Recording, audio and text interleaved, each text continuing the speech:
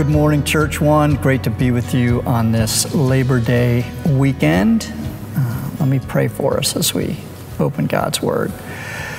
Lord, we need you. Our hearts, our souls need you. We need you to touch our lives. We need you to encourage us. Uh, we need you to open our eyes to see new things in our world in different ways. You have given us this precious resource, the Bible, to do many of these things. And so I pray as we uh, open your word that that would happen, that you would open our eyes to see our world afresh, that we would sense uh, in this book your love for us. And uh, may the words of my mouth and the meditation of my heart be acceptable in your sight. Amen. So, we are going to be preaching today out of the book of Philemon. It is a very small book, one chapter, I think 25 verses. And I have been preaching in various ways, um, gosh, for over 28 years. And I have never, ever preached on the book of Philemon. Uh, so, this is sort of an interesting ground for all of us. Um, and what I'd love to do is read it for you. Uh, again, it's small. It's like 20, we're going to read just 20 of the verses because the last verses are just conclusions. And, uh, and then we'll, we'll jump into it a little bit. But this is the letter of Paul to Philemon.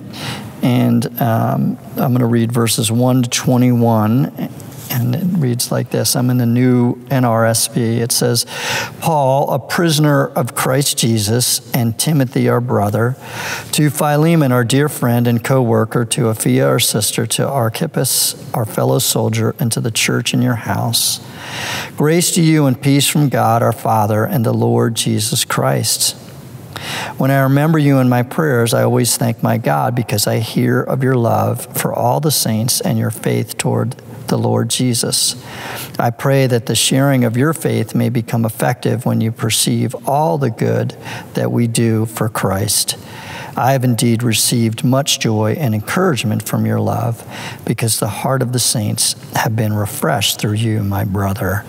And so, just real quick, um, we see here Paul is writing to this guy Philemon, who is must be a generous, life-giving person who hosts hosts a church in his house and um, we don't know a lot about them, um, but they obviously knew each other, or Paul at least knew of him.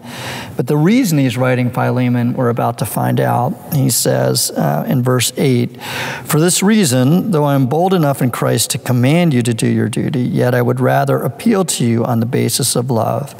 And I, Paul, do this as an old man and now also as a prisoner of Christ Jesus. Paul is in prison and he wants to ask Philemon a question and he says, I could tell you what to do, but I want you to do it out of your own heart. And this is what he's asking. He says, I am appealing to you for my child, Onesimus, whose father I become during my imprisonment. Formerly he was useless to you, but now he is indeed useful both to you and to me. I am sending him, that is, my own heart, back to you. I wanted to keep him with me so that he might be of service to me in your place during my imprisonment for the gospel. But I preferred to do nothing without your consent, in order that your good deed might be voluntary and not something forced. So we're, you know, commentators are not 100% sure, but what most people assume is that Onesimus was a slave of Philemon's and that he escaped and that somehow Paul connected with him um, when he was in prison and Philemon uh, was a Christian. Onesimus may have become a Christian under Paul's ministry or was a Christian, but Onesimus probably as an escaped slave of Philemon's. He may have even stolen from Philemon before he left. And Paul uh, discovers this. And now they're deciding what to do. Should Paul just let Onesimus stay, or the fact that he knows that he belonged to Philemon, does he send him back? That kind of stuff. Um, so he says, um, he's, he says, I wanted to keep him with me so that he might be of service to me in your place during my imprisonment for the gospel. But I prefer to do nothing without your consent in order that your good deed might be voluntary and not something forced. Perhaps this is the reason he was separated from you for a while, so that you might have him back forever, no longer as a slave, but more than a slave, a beloved brother, especially to me, but how much more to you, both in the flesh and in the Lord. So if you consider me your partner, welcome him as you would welcome me. If he has wronged you in any way or owes you anything, charge that to my account. I, Paul, am writing this with my own hand. I will repay it. I say nothing about you owing me even your own self. Yes, brother, let me have this benefit from you in the Lord. Refresh my heart in Christ. Confident of your obedience, I am writing to you, knowing that you will do even more than I say. And so Paul is basically writing this little letter because he has Philemon's slave Onesimus, and he's sending him back and hoping that Philemon has mercy on Onesimus as he returns. It's an interesting little book and an interesting little snapshot into the life of church. But one of the real legit questions about this little book is why is it even in the Bible? I mean, there's not a lot of theology. There's just not a lot there that you would think makes it uh, one of the 66 books that make up the Bible. Is this little letter uh, to Paul to this guy Philemon about an escaped slave? And that's what we're going to talk about this morning. Why is this in the Bible? And it has actually proven to be a really useful little book over the history of church, the church. And I'm going to kind of point out um, two reasons that I think uh, it's in the scriptures, and I'm saying one you see and one you usually don't. So that's what we're going to talk about. Why is it in the Bible? I'll give you two reasons. There's probably a ton more, but I'm going to give you two. One that you can kind of see, and one that we usually don't. And so the the one that you see that like the significance of the Bible is this whole issue of slavery, right? That the Bible, uh, particularly the New Testament, was written, as we talked about last week, in the Greco Roman world. And one of the realities of the Greco Roman world was that slavery was rampant. Now, they were a land based uh, economic system, and so the slavery that they had, in some ways, uh, was a part of their economic system. People could be slaves. They might be in debt and sell themselves as slaves to, and work themselves free. There's all sorts of reasons that people could be slaves that maybe are different from the kind of the the race based slavery that we have in our history and uh, what was particularly toxic about the slavery that we have in our American history is that it was, it was race based and it, it, it, kind of treated people like they weren't people anymore. And um, we're still paying the legacy of all that as a country. But it maybe wasn't exactly the same, uh, you know, slavery that they had back then, but still wasn't great to be a slave. I'm not underselling that. But it was a different economy, and a different way of things. And, and Paul, um, you know, this gives us a little snapshot into that. And frankly, when this was written and when the church was deciding what to put in the Bible, there were lots and lots of slaves that probably made up the church. But one of the things that I think is really fascinating about why this is included in the Bible is, you know, one of the great questions of the Bible is was Paul pro slavery? N.T. Wright, in his huge big commentary about the New Testament, you know, talks about that. And, and um, he basically says that Paul uh, was not pro slavery in the way that he often gets accused he uh, sees it. It's hard for him probably not to envision an economic system without slavery. And so, Paul, just like we talked about last week, you know, the, the Bible often acknowledges the reality of a culture without affirming all of it. And that's what you see here in Philemon that the Bible acknowledges the reality. Paul acknowledges the reality of, of slavery, but he doesn't affirm it completely. In fact, he sort of goes out of his way to undercut it. And the way that he goes out of his way to undercut it is to do this basic move. And you see it in the middle of, of this letter. He says, uh, for, for, perhaps for this reason, uh, Onesimus was separated from you for a while so that you might have him back, no longer as a slave, but more than a slave, a beloved brother, especially to me, and how much more to you. Paul is undercutting this entire institution of slavery and the reality that an owner would want to see a slave as less than a full person by Paul's acknowledging he is a brother. He is one of your brothers. He's, he's more than a slave. Don't see him just as a slave. And the, you know, Paul is affirming the humanity and the dignity of slaves as people and as brothers and sisters in Christ. And when you understand that, in some ways it undercuts, right? It undercuts the way that many think of slavery. William Wilberforce, a famous English um, parliament member who was basically responsible for abolishing the slave trade in modern day England, uh, they, they had like, um, I don't know, they had they didn't do stickers back then, but they had artwork and stuff like this produced. And it had a slave in chains, an African slave in chains. And over top it said, Am I not your brother? Wilberforce keyed into this idea that slaves are people, and so the oppressive system, especially the oppressive system of slavery in England, had to be undercut and ultimately overturned because it was denying the humanity of the person.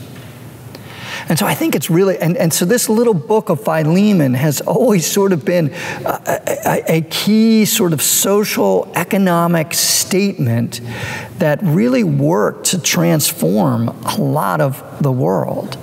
And so you wouldn't expect a little book like that to carry a punch, but it does. And it, and it really, this letter, you know, has served as a tool to bring justice, right? And because it sees the rights and dignity of all people and to show that those rights are ordained by God. You know, it's interesting uh, that the lectionary puts this passage in on Labor Day. Labor Day is the day where we really recognize labor, and in particular, organized labor. And if you look at kind of the history of the world and the economy, when the, when the world transitioned from kind of a land based, agricultural based economy to a uh, capitalistic based economy, where it, your wealth went from not what you sort of produced off the land, but your wealth was built on your labor one of the profound challenges that kind of cultures had was recognizing the dignity of labor. And early, early on in capitalism, there was a lot of exploitation of labor. And, and so organized labor was a way in which like people kind of fought back for their dignity. And it's fascinating to kind of link the history of the church and the way the church has, has, you know, not always perfectly or rightly or on time, but the church has continued to stand, just like it stood for the dignity of slaves, to stand for the dignity of labor and that people have the right to work and earn a living and not be stripped of their humanity in their work. And, uh, you know, it's, the church has been a voice for that over time, partly kind of laid down this groundwork that, you know, Philemon uh, has for us.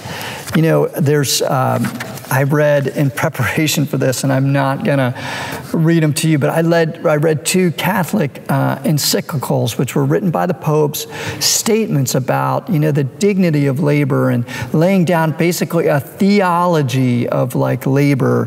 One of them was uh, called Rerum Novarum, and it was written by Pope Leo XIII in 1891. And it was a time, in 1891 was a time of real great tension between the working class and the owning class. And again, capitalism was relatively new on the scene, and there was a lot we were people were trying to work out and figure out.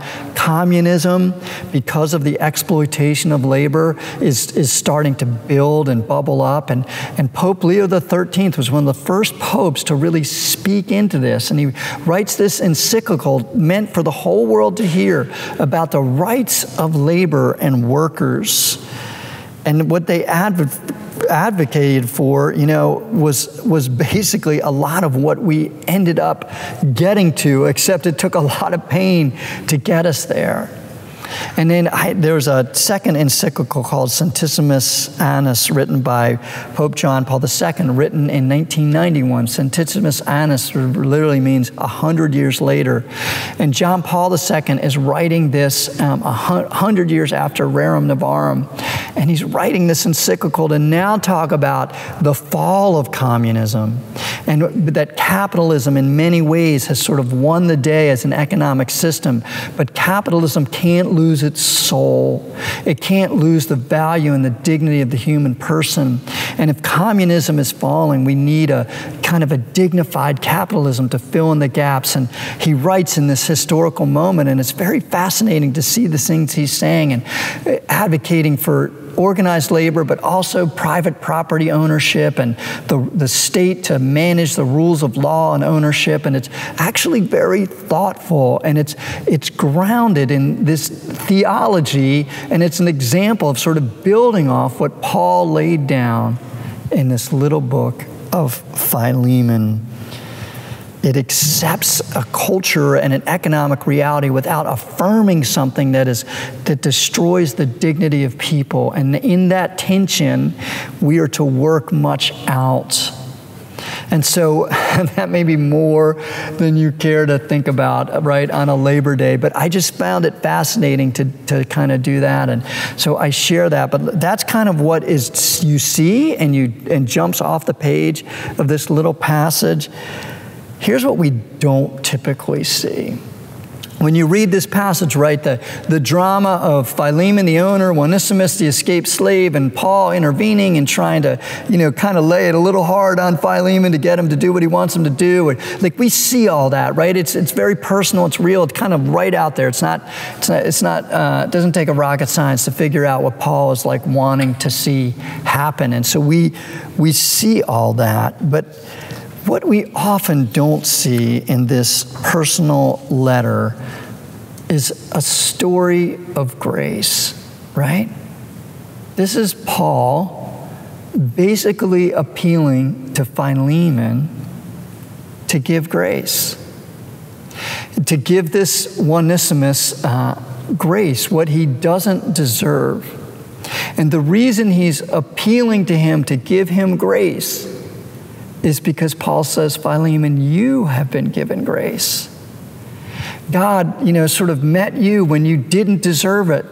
It's interesting to link this up with the parable of the prodigal son in Luke 15 and the, the, the father, right, waiting for the son to return. And the son says, like, let me work with the pigs. And it's like, no, you're my son. And puts on a robe and celebrates him. It's this amazing picture of grace, right?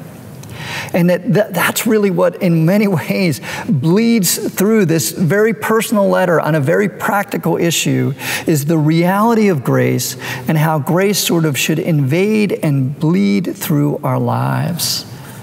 Victor Hugo uh, wrote the, the book Les Miserables. Uh, became a famous Broadway musical and it became a movie. And um, I remember we're taking our kids to the movie and they, they sang through the whole movie. The music's awesome. I'm sure many of you seen it, but I, my son Michael at some point turned to me in the middle of the, the movie and he's like, when are they going to stop singing?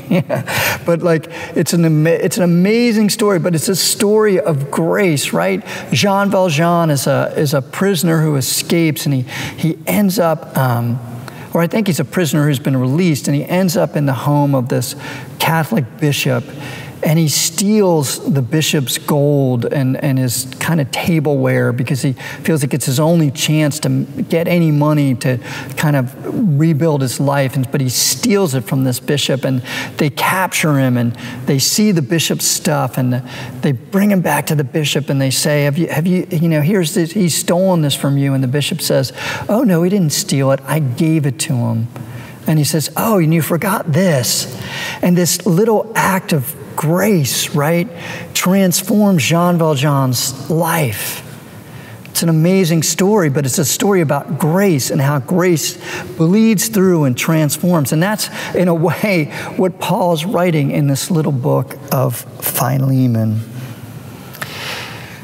You know, sometimes I like to find artwork, and so I found um, this painting. I, the painting, I believe, is called St. Paul's writing his epistle. And the author, the artist, they believe, is a Valentine de Bologna. It is painted in uh, 1618 to 1620. Uh, and it's a, it's a unique, it's a very, uh, they call it a very Baroque style of art. It is a, um, it's very, uh, it was dark, right? You can see, if you see this picture, uh, hopefully we'll have a slide of it up. You, you see, it's very, it, it, uses big contrast between light and darkness.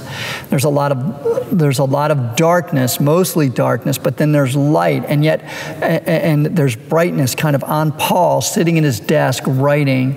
And he's writing, and, he, and, and, and they're trying to be very realistic, right, in many ways. The, the, the point of this this, this Baroque style of art was to, to, to realistically help you engage with what the, human people were like doing this. And so he's painting this like realistic picture of Paul sitting at his desk, writing one of his epistles. You see, now Paul wouldn't have had little books on his desk back then, they would have had scrolls, but you you can see Paul sitting there like writing, um, writing, and, and, and it's, it's meant to give you a picture of the human human Paul writing these sacred words that make up our scripture. It's a fascinating painting, but one of the most interesting parts of the painting is a part that you don't typically see.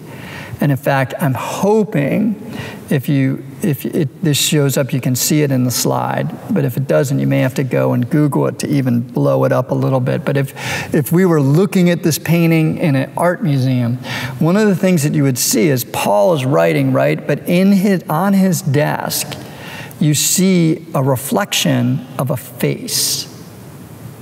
And you naturally think, well, that reflection is Paul's face, right? Like he's writing his desk and, you know, it's a glass desk or whatever, and his face is reflecting.